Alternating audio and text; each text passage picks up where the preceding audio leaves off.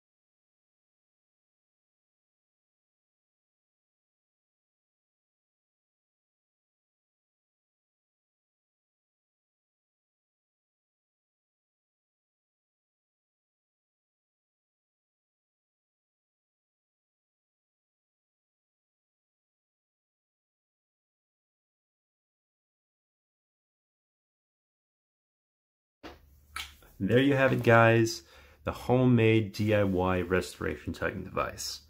If you have any more questions on how to make this device, I've included a full-length video in the description box below. Um, it shows me making this device from the start to the very end and showing every step along the way on video. And I've also included an on-person demonstration of how this device is worn and how it works. And you could find that link in the description box below. So thank you guys so much for watching and subscribing. And I really appreciate you guys following along. And I hope you guys learned something new today. And happy restoring. For more information on restoring, you could visit our website via the link posted in the description box below. At our website, you could find more informational posts and updates. Hope to see you over there soon.